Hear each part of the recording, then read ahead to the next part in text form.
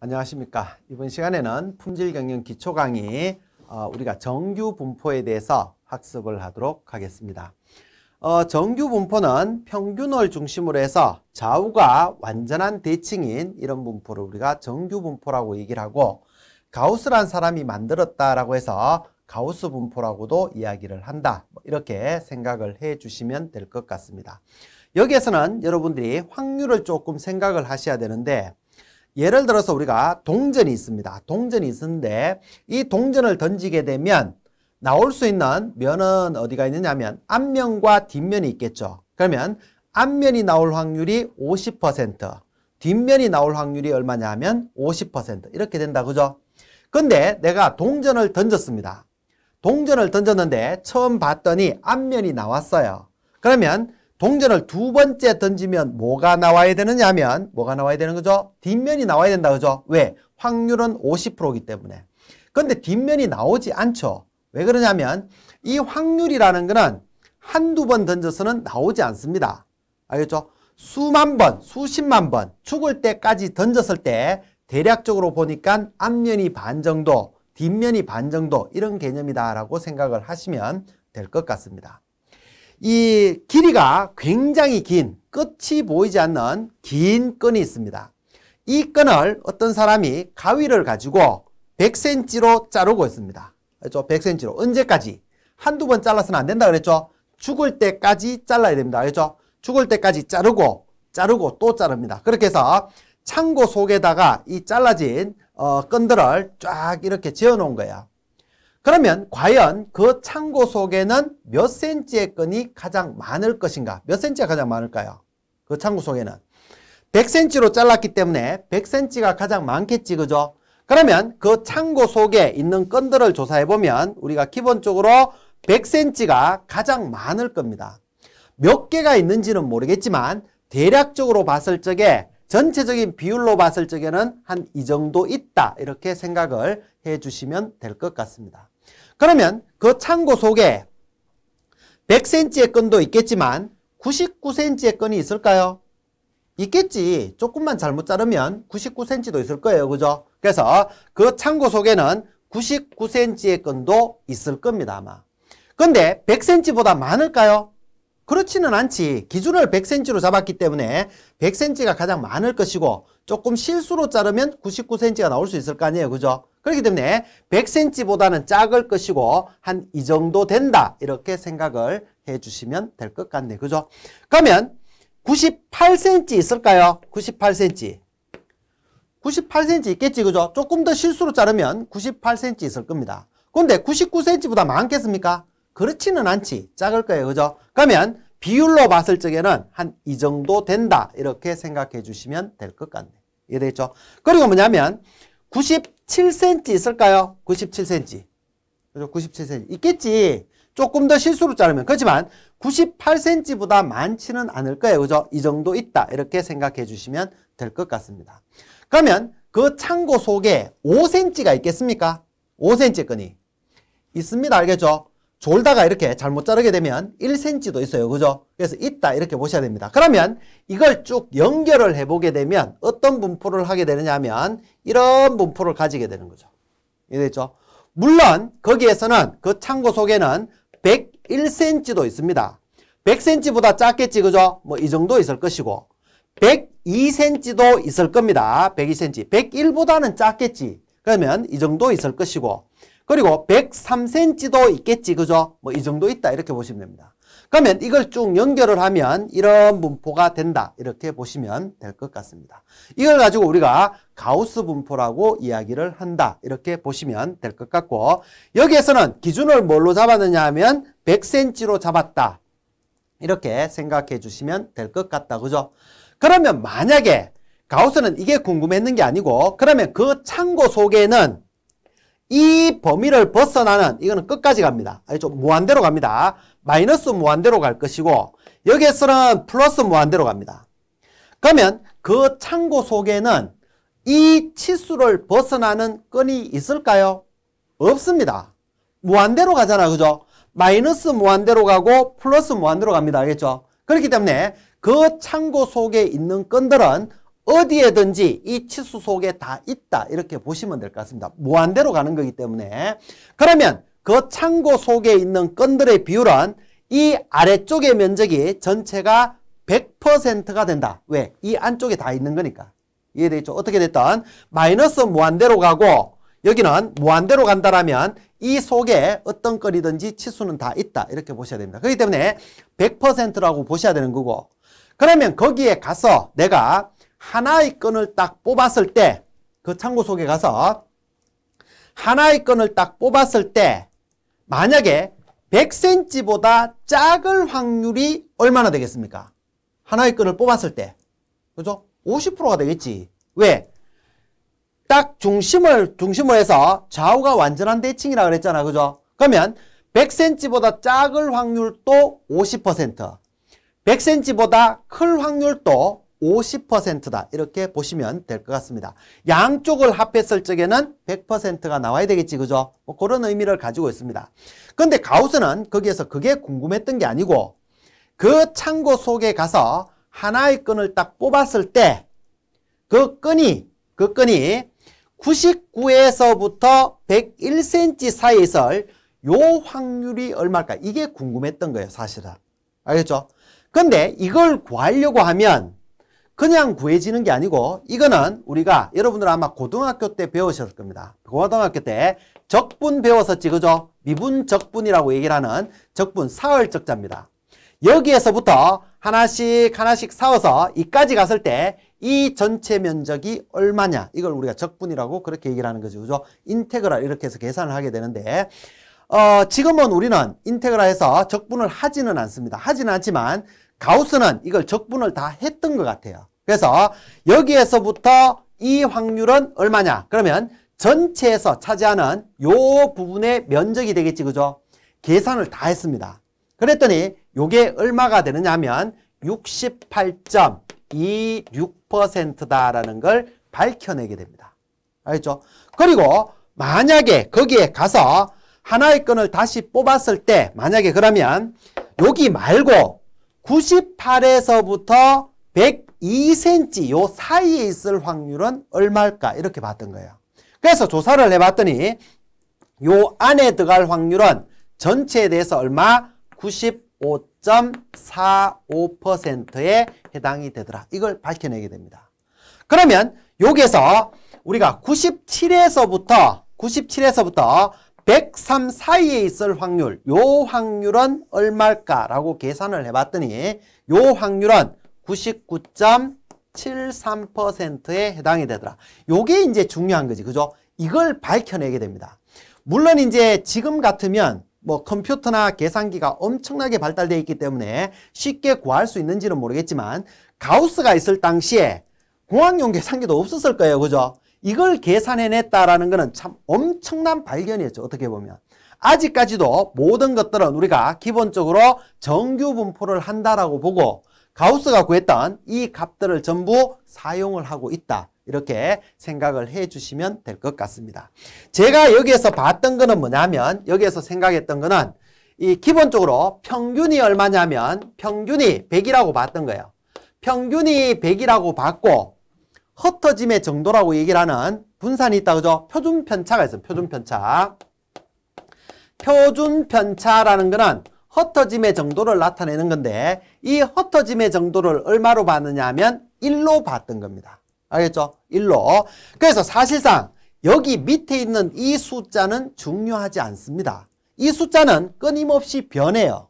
이해되겠죠? 끊임없이 변할 것이고 중요한 거는 뭐냐면 이 100이라는 거는 평균치에 해당이 되는 거고 이 평균을 중심으로 했을 때 99라는 거는 표준 편차가 1이라 그랬잖아. 그죠? 그러면 평균에서 표준 편차 한 배만큼 즉 1만큼 빼게 되면 99가 되는 것이고 표준 편차의 한 배만큼 더하기를 해주면 101이 되는 겁니다. 그래서 평균을 중심으로 했을 때 표준 편차의 양쪽 한 배만큼 떨어져 있을 때 이 안쪽의 면적은 얼마냐 하면 68.26이 되는 것이고 98이라는 거는 뭐냐면 100에서부터 표준 편차가 1이니까 1 그리고 1 이렇게 떨어져 있다 그죠? 두 배만큼 떨어져 있는 거죠.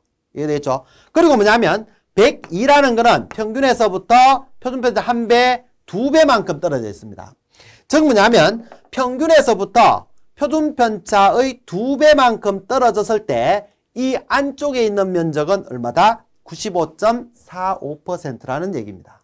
그리고 어, 97이라는 거는 다시 여기에서 평균에서부터 한 배, 두 배, 세 배만큼 떨어져 있다. 그죠? 그리고 평균에서부터 위쪽으로 한 배, 두 배, 세 배만큼 떨어져 있는 거죠. 그렇게 했을 때 이 안쪽 면적은 얼마냐면 99.73%가 되더라 이런 얘기입니다. 그래서 여기에서 중요한 거는 뭐냐면 평균과 대표값이라고 그랬죠. 흩어짐의 정도 표준 편차로 나타냅니다. 이게 중요한 거예요. 이해되죠? 그래서 평균이 주어지고 표준 편차가 주어진다라면 정규 분포를 한다라고 가정했을 때 평균을 중심으로 해서 양쪽으로 표준 편차의 한 배만큼 떨어지면 68.26 그리고 두 배만큼 떨어지게 되면 95.45 그리고 세 배만큼 떨어지게 되면 99.73%를 나타낸다라는 걸 여러분들이 알고 계시면 될 것 같습니다. 그러면 이제 이 평균과 표준 편차는 계속적으로 변한다 이렇게 보시면 될 것 같습니다. 그러면 여기에서는 뭐냐면 평균이 100이고 표준 편차가 1로 봤던 거고 예를 들어서 우리 회사에서 요 제품을 생산하는데 요 제품의 강도가 중요해요. 알죠? 강도가 중요한데 요 제품의 강도는 얼마냐면 평균이 50이고 평균이 50이고 표준 편차가 얼마냐 면 5다 이렇게 생각을 해봅시다. 평균이 50이고 표준 편차가 5입니다. 그러면 정규 분포를 한다라고 봤을 때 요걸 그래프로 나타내게 되면 이렇게 나타낼 수가 있겠죠. 정규 분포를 한다라고 가정을 하는 겁니다. 그러면 평균이 얼마냐면 50이라 그랬죠. 평균이 50이라 그랬고 표준 편차가 5라 그랬잖아. 그죠? 그러면 만약에 우리 회사 제품이 이렇게 구성이 돼 있다라면 평균에서부터 표준 편차의 아래쪽으로 한 배만큼 떨어지면 얼마? 얼마죠? 45가 되는 거지. 왜? 표준 편차 5니까. 그러면 위쪽으로 한 배만큼 떨어지면 얼마? 50에서 5를 더하면 55가 되겠죠. 그러면 이 속에 있을 확률이 얼마다? 얼마? 68.26이라니. 똑같다라는 얘기입니다. 알죠? 이게 중요한 거예요. 여기서 평균과 표준 편차는 끊임없이 계속적으로 바뀐다. 이렇게 생각하시면 될 것 같습니다. 알죠? 예를 들어서 그러면 예를 들어서 어, 우리가 평균이 얼마냐면 요걸 길이를 쟀습니다. 길이를. 길이를 조사를 했더니 길이를 평균이 얼마냐면 요 길이의 평균이 예를 들어서 10cm였고 표준 편차가 예를 들어서 얼마냐면 2cm였습니다. 우리 회사에서 생산한 제품이 그러면 이걸 똑같이 우리가 나타내 본다라면 이렇게 나타낼 수가 있겠죠. 정규 분포를 한다라는 가정하에서 평균이 얼마냐 하면 10. 표준 편차가 얼마냐 면 2라 그랬잖아. 그죠? 그러면 평균에서부터 표준 편차의 한 배만큼 아래쪽으로 떨어지게 되면 얼마냐 하면 2를 빼게 되면 8이 되겠지. 이해되겠죠? 한 배만큼 올라가게 되면 2를 더하게 되면 12가 될 겁니다. 이 속에 있을 확률은 얼마? 68%. 아, 68%. 68.26이다. 그죠? 똑같다라는 얘기입니다. 그러면 만약에 여기에서 표준편차 한 배만 더 떨어져 가지고 6에서부터 14까지의 확률은 얼마? 95.45. 그리고 한 배만큼 더 떨어지면 4에서부터 얼마? 16까지가 되겠네. 그죠? 이 속에 있을 확률은 얼마다? 99.73%라는 얘기입니다. 이거는 뭐냐면 비율을 나타내는 거예요. 알죠? 비율을. 예를 들어서 여기에서 이 분포와 이 집단에서 이 분포와 이 집단에서 이 분포는 크기가 다 다릅니다. 알죠? 그런데 왜 확률은 같으냐라고 했을 때 확률이라는 것은 전체에서 차지하는 비율을 얘기하는 거예요. 예를 들어서 저기 아프리카에 가면 아프리카에 가면 입이 엄청나게 큰 하마가 있습니다. 알죠? 입이 엄청나게 큰 몸무게가 수십 톤이 됩니다. 알죠? 몸무게가 수십 톤 되는 이 하마가 있는데 이 하마의 오른쪽 앞다리는 몇 퍼센트? 계산할 수 있겠습니까? 하마가 있어요. 그죠? 몸무게가 수십 톤이 됩니다. 알겠죠? 이 수십 톤이 되는 이 하마의 오른쪽 앞다리의 비율은 얼마냐 하면 25% 이라면 안 되죠. 왜? 몸통도 있고 머리도 있잖아. 그죠? 다리만 있는 거 아니잖아. 그러면 예를 들어서 한 10% 된다라고 봅시다. 이해되겠죠? 그러면 저기 있는 한강에 가서 내가 요만한 개구리를 한 마리 잡았어요. 알죠? 요만한 개구리를. 요만한 개구리를 잡아왔는데 요 개구리의 오른쪽 앞다리는 얼마? 몇 퍼센트? 10% 똑같다라는 얘기입니다. 수십 돈 되는 하마의 오른쪽 앞다리의 비율이나 요만한 개구리의 오른쪽 앞다리의 비율이나 똑같다 이거지. 이해되죠? 왜 똑같을 수밖에 없냐면 하마는 이만큼 큰 데서 이만큼을 나타내는 거고 오른쪽 다리도 크겠지. 개구리는 요만한 데서 요만큼이잖아. 그죠? 부피는 다르지만 비율적으로 전체적인 비율로 봤을 적에는 같다라는 얘기입니다. 이해되겠습니까? 그래서 여기에 나오는 모든 그래프는 크기나 모양은 달라집니다. 달라지겠지만 비율적으로 봤을 적에 평균에서부터 표준 편차의 한 배만큼 떨어지면 68.16, 두 배만큼 떨어지면 95.45, 세 배만큼 떨어지면 99.73 이런 의미를 가지고 있다라고 생각을 해 주시면 될 것 같습니다. 그게 정규 분포에 나오는 기초적인 내용이다. 이렇게 생각해 주시면 될 것 같네. 그죠? 그러면 기본적으로 정규 분포라는 것은 뭐냐면 우리가 평균치에 대해서 평균에 대해서 좌우 대칭인 이런 완전한 분포를 우리가 정규 분포라고 얘기를 하는데 실제적으로는 정규 분포는 잘 없습니다. 그렇지만 정규 분포를 한다라고 가정을 두지 않으면 계산을 할 수가 없어요. 그렇기 때문에 우리는 모든 분포는 정규 분포를 한다라는 가정하에서 출발을 한다. 이렇게 생각해 주시면 될 것 같습니다.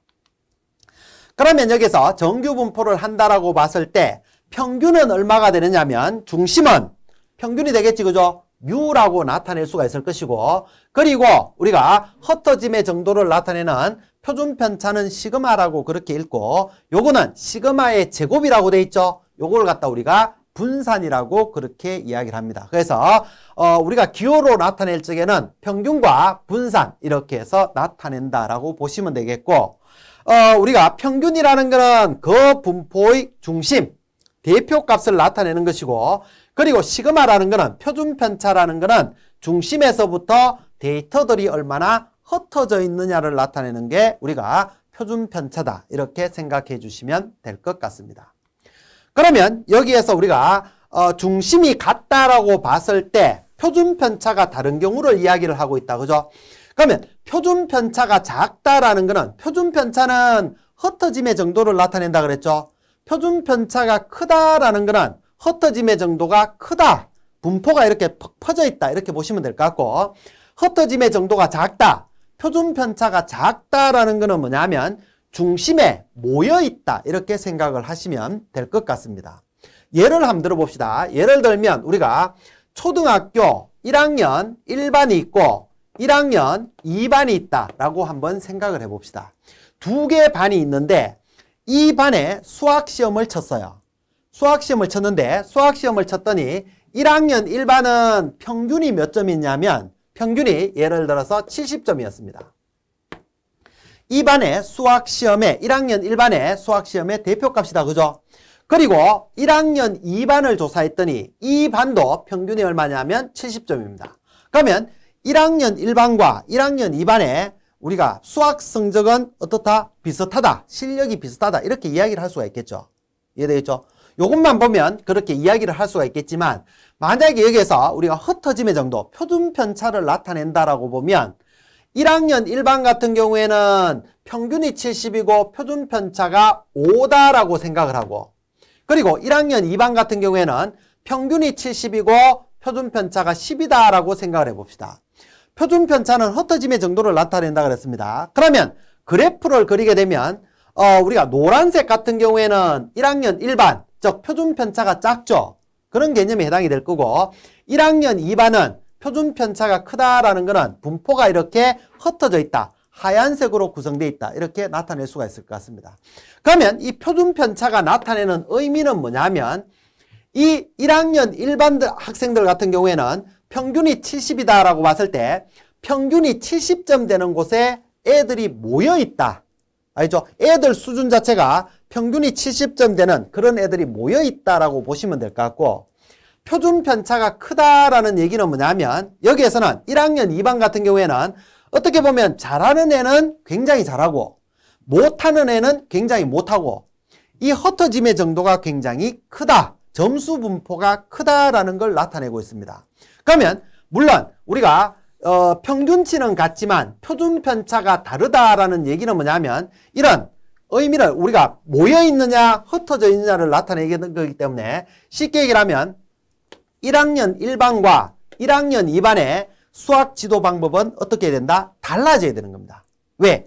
1학년 1반은 고성적이 되는 애들이 모여 있는 것이고 1학년 2반은 잘하는 애도 있고 못하는 애도 있기 때문에 어, 조금은 힘들 것이다. 그죠? 뭐 그런 의미로 여러분들이 어, 보시면 될 것 같습니다. 그게 표준 편차의 의미다. 이렇게 생각하시면 될 것 같네요. 그리고 이제 우리가 시그마로 보게 되면 평균이 있고 그죠? 평균이 있고 대표값이 있고 그리고 표준 편차 시그마가 있다 그랬죠? 흩어짐의 정도를 나타내는 거니까 이 평균을 중심으로 해서 표준 편차의 아래쪽, 위쪽 한 배만큼 떨어져 있다라고 했을 때 요 확률은 28.26이라 그랬죠. 여러분들이 외우고 있어야 되는 그런 내용입니다. 알겠죠? 외우고 있으셔야 됩니다. 확률은.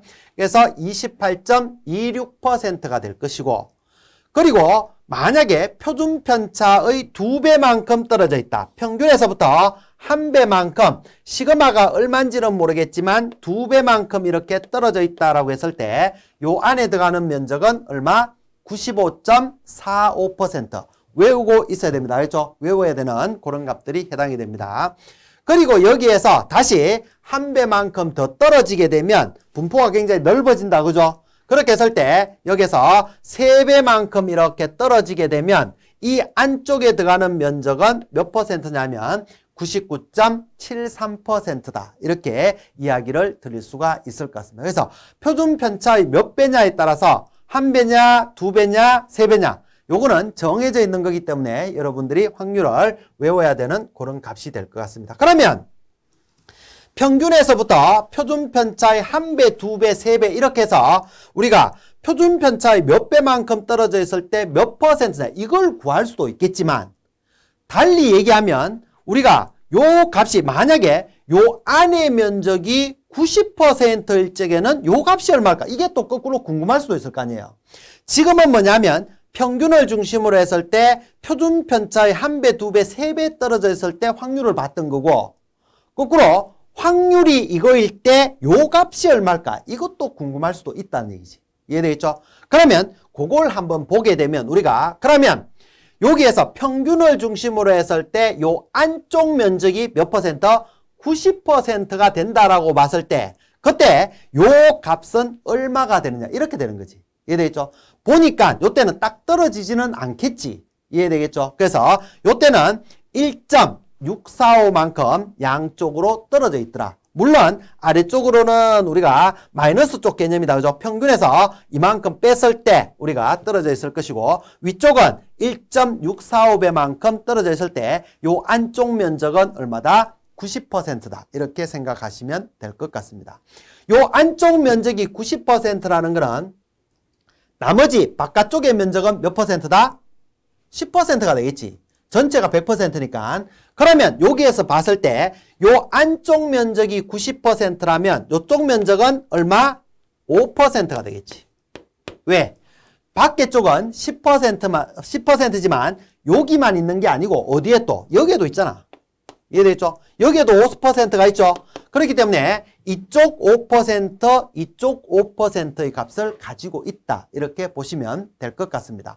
요거는 여러분들이 나중에 알고 계셔야 됩니다. 검정과 추정에 들어가면 많이 사용되는 거기 때문에 우리가 위험률을 5%로 본다라고 했을 적에는 이게 만약에 한쪽의 개념으로 본다면 이쪽에 5%로 나타내는 거고 그때 정규분포 값이 얼마냐면 1.645배만큼 시그마만큼 떨어져 있다. 이렇게 생각해 주시면 될 것 같습니다. 그러면 90%일 경우에도 많이 사용되는 거지만 90%가 아니고 95%일 적에는 얼마일까? 이게 또 궁금할 수 있을 거예요. 그죠? 우리가 주로 많이 따지는 게 뭐냐면 확률 자체가 90%, 95%, 99% 이렇게 돼 있거든. 이해되겠죠? 그러다 보니까 평균에서부터 양쪽으로 떨어져 있을 때 전체를 100으로 본다라면 95% 안에 들어갈 때 요 값은 얼마냐라고 보니까 1.96이 되는 겁니다. 그죠? 1.96 시그마만큼 떨어져 있더라. 이렇게 되는 거지. 그래서 아래쪽으로 1.96 시그마, 위쪽으로 1.96 이렇게 떨어져 있다. 그러면 안쪽 면적이 95%라는 거는 바깥쪽 면적은 얼마? 5%가 되겠죠. 그러면 바깥쪽 면적이 5%라는 거는 이쪽도 있고 이쪽도 있다. 그죠? 그러면 이쪽이 얼마냐 하면 얼마죠? 5%의 반이니까 2.5%가 될 것이고 그리고 이쪽 편이 얼마? 2.5%가 된다. 이렇게 생각을 해 주시면 될 것 같습니다. 이해되시겠죠? 그리고 뭐냐면 95%도 많이 우리가 다루게 되는 거지만 또 다루게 되는 게 뭐냐면 99%가 있습니다. 99%. 그러면 여기에서 우리가 평균을 중심으로 해서 좌우측으로 봤을 때 안쪽 면적이 99%가 되는 경우는 요 값이 얼마냐 그걸로 보는 겁니다. 그렇게 했을 적에는 요거는 2.576 시그마만큼 우리가 양쪽으로 떨어져 있을 때 요 안쪽 면적은 얼마다? 99%가 된다. 이렇게 생각해 주시면 될 것 같고 안쪽 면적이 99%라는 거는 바깥쪽 면적은 몇 퍼센트? 1%가 되겠지. 이해되겠죠? 그러면 이쪽이 얼마냐면 양쪽이니까 이쪽이 0.5%가 될 것이고 이쪽이 얼마? 0.5%가 될 것이다. 이렇게 생각해 주시면 될 것 같습니다. 이런 것들이 이제 정규 분포에서 우리가 굉장히 많이 사용되고 있는 개념이다. 이렇게 보시면 되겠죠. 그래서 기본적으로 뭐냐면 평균에서부터 표준 편차 양쪽 한 배만큼 떨어지면 68.16, 두 배만큼 떨어지면 95.45, 세 배만큼 떨어지게 되면 99.73%에 해당이 되는 거고 만약에 안쪽 면적이 90%다라고 보면 그러면 여기에서 몇 시그마냐라고 했을 적에는 얼마? 1.645라 그랬지 그죠? 그리고 만약에 95%다 안쪽 면적이 그러면 1.96 시그마가 될 것이고 만약에 99%가 된다라면 2.576 시그마다 이렇게 이야기를 드릴 수가 있다. 뭐 이렇게 생각해 주시면 될 것 같습니다. 정규 분포에 대한 기초적인 첫 번째 강의는 여기까지 진행을 하도록 하겠습니다. 수고 많이 하셨습니다.